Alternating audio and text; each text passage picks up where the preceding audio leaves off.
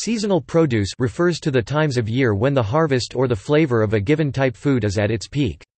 This is usually the time when the item is harvested, with some exceptions, an example being sweet potatoes which are best eaten quite a while after harvest.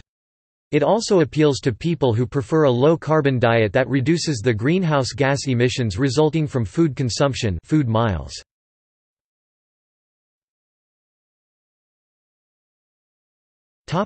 History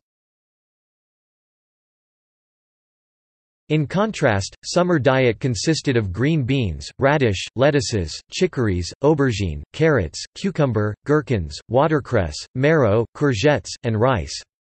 The meat accompanied these vegetables consisted mainly of poultry, ostrich and beef products. Fruity desserts included fruits such as lemon, lime quinces, nectarines, mulberry, cherries, plums, apricot, grapes, pomegranates, watermelon, pears, apple, and melon. Meanwhile, the drinks involved syrups and jams. Fruit pastels, lemon, rose, jasmine, ginger and fennel. In autumn, meals included cabbage, cauliflower, carrots, celery, gourd, wheat, barley, millet, turnips, parsnips, onions, acorns, peanuts, pulses, and olive oil.